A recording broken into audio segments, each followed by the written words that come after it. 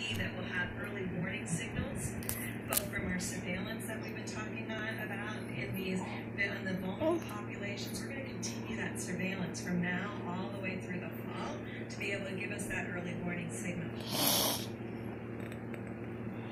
So Dr. Birx now confident there that the What's on your government is face? prepared uh, to deal with a second wave uh, accompanied with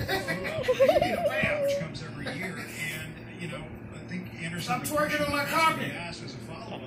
It wasn't at this briefing today, but perhaps tomorrow. Thank you. Will the country be prepared right now? The That's all I doctors ask. saying that, uh, well, we'll, they'll be doing surveillance testing and so on. There isn't enough testing